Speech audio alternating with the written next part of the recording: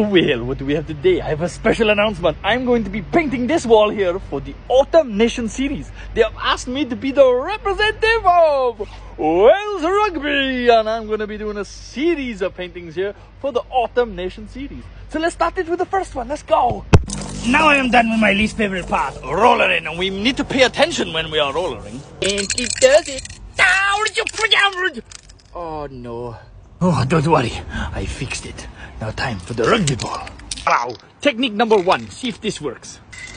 Oh wow, it's never done that before. That's so amazing. I am all done with this one. There is more to come from this mural throughout the Autumn Nation series. And my next video is going to be at the Principality Stadium with a bit of big scary dragon. And you get the chance to win your own jersey from me if you comment on all of my videos.